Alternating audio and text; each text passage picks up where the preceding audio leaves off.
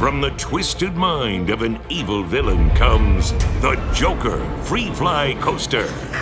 Like nothing you've seen before, with two beyond 90 degree drops, wicked flips, and fiendish inversions. The Joker Free Fly Coaster, coming to Six Flags New England in 2017.